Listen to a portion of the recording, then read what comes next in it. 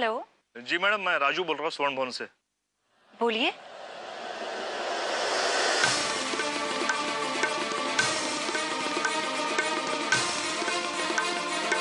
क्या?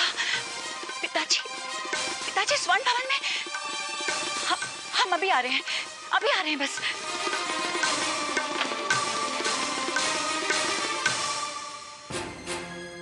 लता दीदी का फ़ोन भी नहीं आया। पता नहीं पिताजी घर पहुँचे नहीं पहुँचे।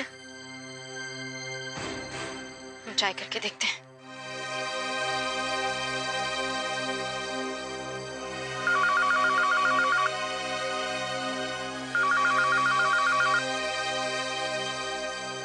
फ़ोन क्यों नहीं उठा रही?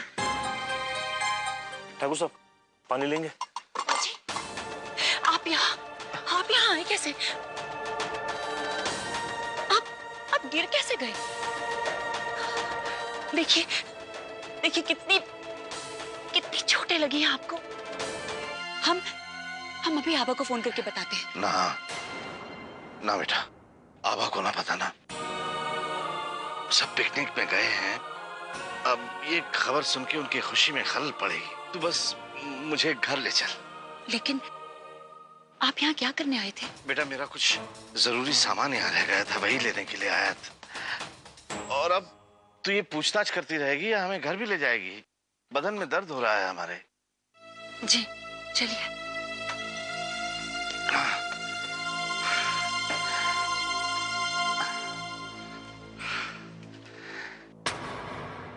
हम हम फिर आएँगे। पता लगा कर ही रहेंगे कि वो तहखाना कहाँ है। हाँ तो ये बात पहले बतानी चाहिए थी। आप किसी असिस्टेंट को भेज दीजिए। नहीं मैं कैसे आऊँ? आप, आप हाँ मैं मैं करता हूँ फ़ोन फ़ोन रखिए हाँ, ना। इधर भी आप फ़ोन पर हैं। करण हम कह रहे थे कि करण? क्या हुआ? एक बहुत अर्जेंट केस है। मुझे या पापा दोनों में से किसी को दिल्ली जाना पड़ेगा। कब? अभी। अभी? मैंने मना करने की कोशिश की लेकिन मिस्टर मेहता दिल्ली में वेट कर रहे करण। आई एम सो सॉरी हमें अच्छी तरह याद है। कन्हैया लाल जी।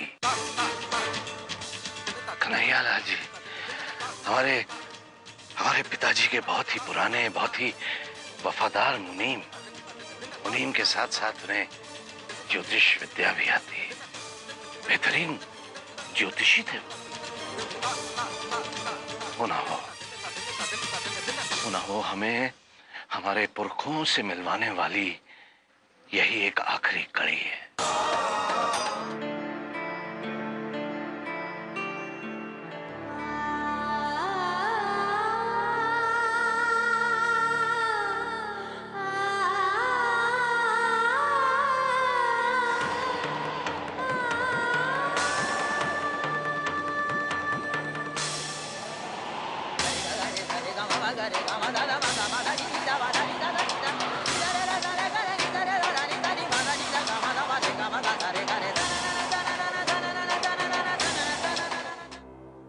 माफ़ी चाहते हैं मुनीम जी।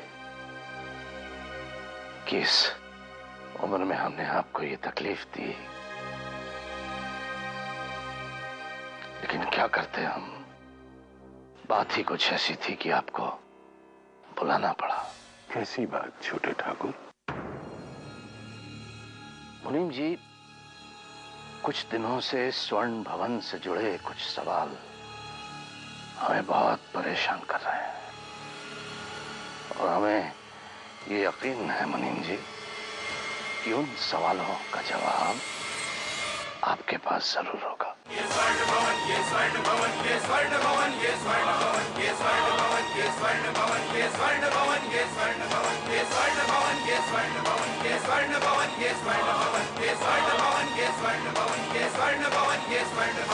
Yes,